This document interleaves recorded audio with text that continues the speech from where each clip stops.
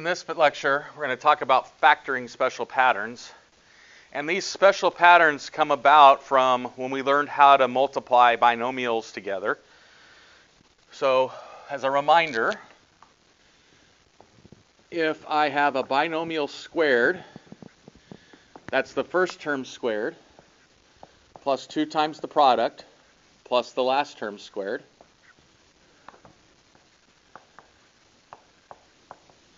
First term squared, 2 times the product, plus the last term squared.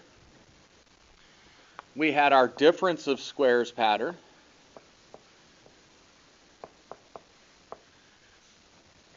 which is the first term squared minus the last term squared. So those are our quadratic patterns. So we're going to cover how to factor if it's in the right-hand side to turn it back into the left-hand side so that I could use that information to solve a quadratic equation. So notice that in both, well actually all three of these, the first term has something squared. The last term has something squared. So what I want you to realize is that if the first and last terms are perfect squares, you want to try to look for um, a special pattern. Okay? Now, you may have to factor out a greatest common factor first to get the perfect squares, but you want to see if you factor out a greatest common factor, then you end up with perfect squares. Try to put it into one of the patterns.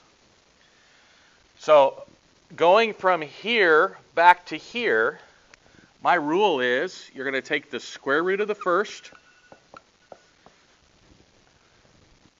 You're going to take the square root of the last. You're going to copy the sign, all squared. That's the general pattern.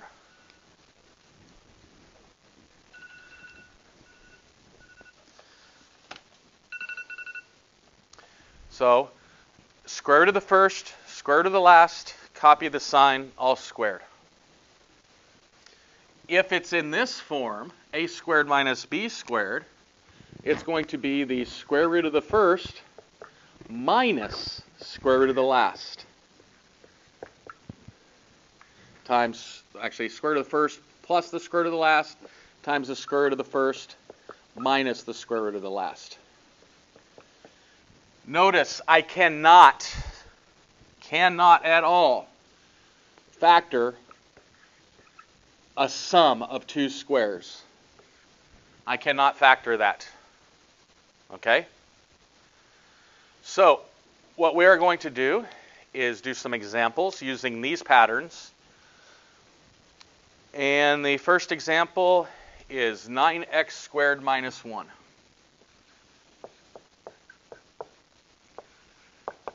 So I want to factor this. Well, 9 is a perfect square, so is x squared minus a perfect square. So I take the square root of the first plus square root of the last times square root of the first minus square root of the last. So I have 3x plus 1 times 3x minus 1.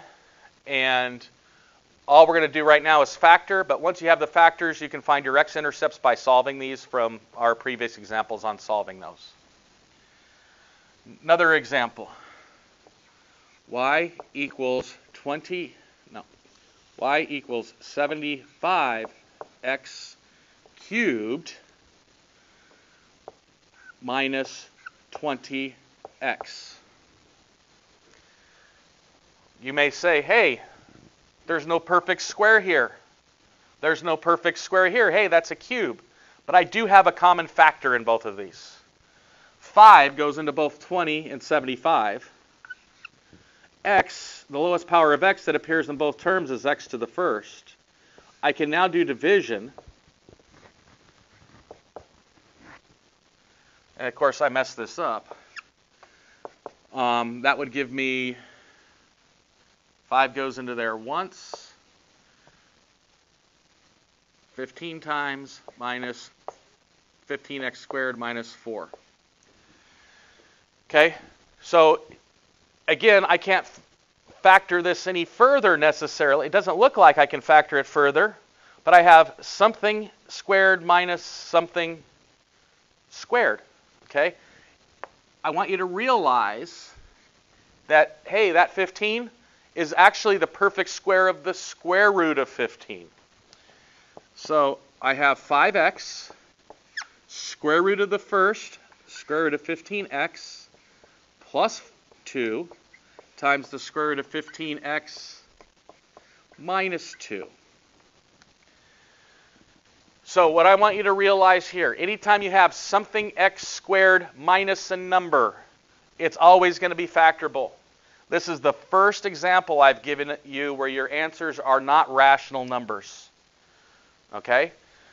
But I want you to realize that if it's in this form, something squared, so something times something squared, so blank x squared minus a blank, you can always, always, always use that pattern to solve it.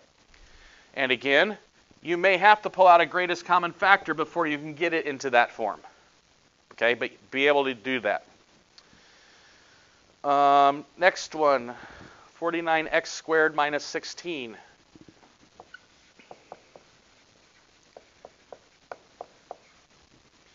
Okay. Well, perfect square, perfect square. So I have square root of the first plus square root of the last. So I have 7x plus 4, 7x minus 4. Next one. y equals x to the fourth minus 16. Well, you say that's the fourth power, but isn't this the same thing as x squared squared minus 16? I would say yes, because 2 times 2 is 4. Well, the square root of something squared is that something, so I can use this pattern. So the square root of the first would be x squared plus the square root of the last is 4. Square root of the first is x squared minus square root of the last, which is 4. Here I can't do anything with the first term because it's something squared plus a number, which I said is can't be factored. But on the right-hand side, I still have something that's something squared minus a number, which can be factored. So copy the first factor that I can't do anything with, x squared plus 4. And this is square root of the first, which is x, plus square root of the last, which is 2, times square root of the first minus square root of the last, which is x minus 2. Okay? So just because it's got higher powers doesn't necessarily mean I cannot use these patterns. Okay? So I've shown you several ways that this difference of square pattern can work out. Okay? A lot of times it's going to be in that nice straightforward way, but you can end up having multiple times that you can use that difference of square patterns. I will tell you if you have something to the fourth minus a number, you're going to be able to get something squared minus a number as one of your factors, which means you're always going to be able to factor that. Here, just because the number in front of the x squared wasn't a perfect square, I was able to come up with an irrational answer. Okay? So don't stop just because it's not a perfect square. You can still do some work there. So we've pretty much knocked out that pattern. Now let's look at stuff that's in this pattern.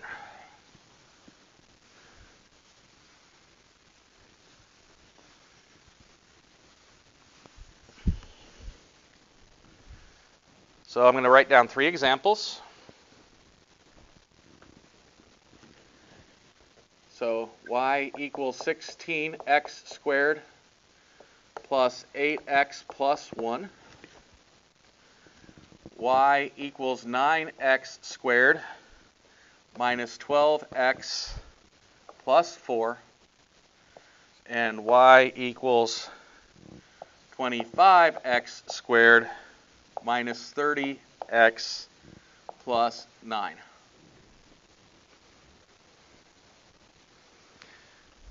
So I would like you to recognize that on each of these, my first terms are in fact perfect squares. My last terms are in fact perfect squares. So I'm just going to follow the rule. Square root of the first, square root of the last, copy the sign, all squared, but then go back and check to make sure that the middle term is going to be the correct term. And I'm going to show you how to do that when I do these. Square root of the first, 4x, square root of the last, 1, copy the plus sign, all squared. Now, you should remember that a binomial squared is a trinomial. First term is the first term squared, last term is the last term squared. Middle time is 2 times the product. And you need to go back and make sure it's 2 times the product. Because there are times that this is a perfect square and this is a perfect square, but the middle term does not add up right to be a perfect square pattern. So 2 times 1 is 2, times 4x is 8x, it does check. Square root of the first, 3x. Square of the last, 2. Copy the sign, minus, all squared. Check the middle term. 2 times negative 2 is negative 4. Negative 4 times 3x is negative 12x. That one checks. Square root of the first, 5x. Square root of the last, 3. Copy the negative sign, all squared. Negative 15 times 2 is in fact negative 30. So my middle number did check. Please check those middle numbers. There will be times that the middle number does not match, and if the middle number does not match, then you're going to have to go back and use another method to factor if it's factorable, which would be like grouping if the number coefficient for the x squared term is not 1, or factoring by inspection if the coefficient in front of the x is 1. Okay, next. So we're done. If you're in um, Algebra 1 or Geometry, we're done with this. If you are in Algebra 2, College Algebra, or beyond, we have one more special pattern that we need to be able to factor. So if you're in Algebra 2 or College Algebra beyond, continue watching. Otherwise, you are done with this video. And the other pattern we have is the sum of cubes or the difference of cubes. Okay? So if I have a perfect cube plus a perfect cube or a perfect cube minus a perfect cube, there is a special pattern for factoring that. Okay? I'm going to rewrite both of those as a single thing. I'm going to write a cubed plus or minus b cubed. Okay, and I'm going to write down the pattern kind of in words. So the difference of cubes, or the sum or difference of cubes, is a binomial times a trinomial.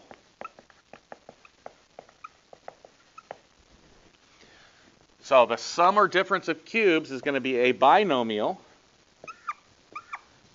times a trinomial.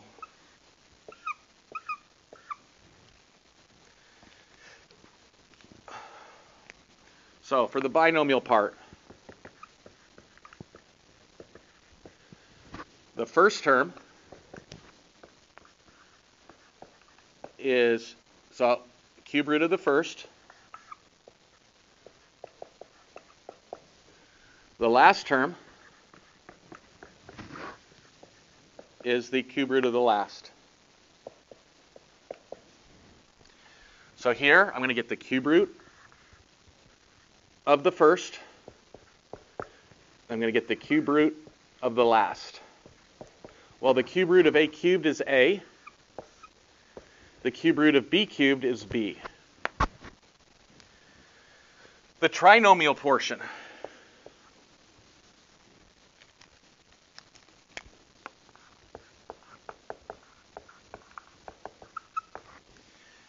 Is the binomial first term squared. That's equal to the first term. The last term is the binomial last term squared. And the middle term is the first times the last. So I'm going to take this number and square it. I'm going to take this number and square it. So I take the a and square it. I take the b and square it. Then I take the a times the b. Okay, now I've got some blanks. Our sign pattern. Copy, change, always positive.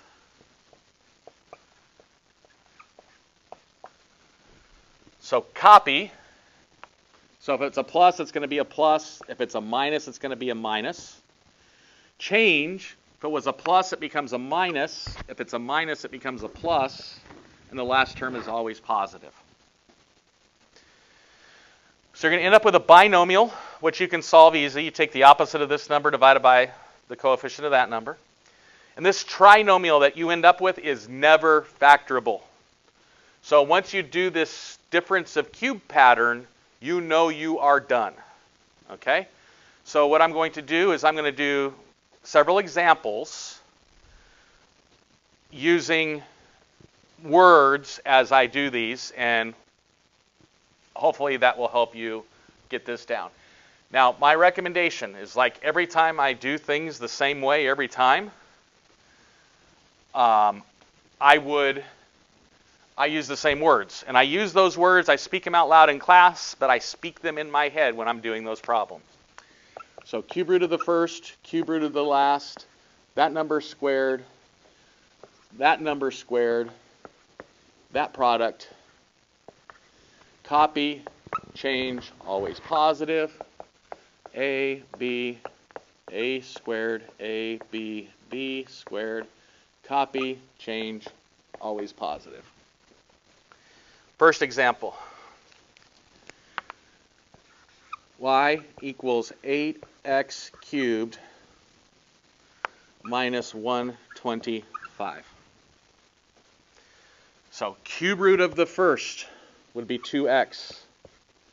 Cube root of the last is going to be 5. This is one of the reasons why I had you memorize some perfect cubes. First number squared would be 4x squared. Last number squared would be 25. Middle term is 5 times 2x, which is 10x.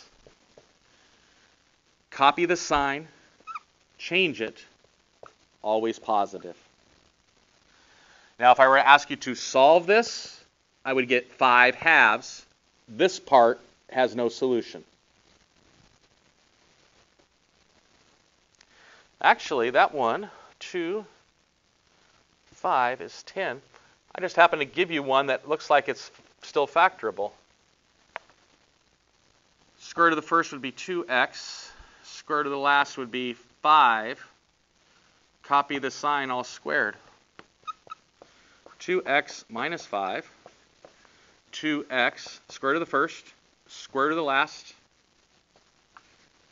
copy the sign, all squared, and 5 times 2 is 10 times 2 is 20. So that remember, I told you to check the middle term. It didn't check. So that's one of those that, hey, it looks like it's a perfect square, but it's not. Next example. y equals, let's do 64x cubed plus 27. Cube root of the first, which would be 4. It's a memorized cubed, 4x. Cube root of the last is 3. 4x squared would be, 4x quantity squared would be 16x squared. 3 times 4x is 12x. 3 squared is 9. Copy the sign, change it, always positive. again, of course, this is going to be a perfect square and that's going to be a perfect square, but the middle is not 2 times the product. The middle is only 1 times the product because that's how we came up with the middle. Solutions to this one would be negative 3 fourths. Solutions to that is nothing. No solutions. Okay? So this equation never crosses the x-axis. This one does at negative 3 fourths. So that's it for special patterns. Um, again, Algebra 2 and College Algebra, you're responsible for this cubic one. And that is it for factoring in general. Um, what I do want you to uh, realize that you can combine all of these factoring methods to factor multiple other types of problems.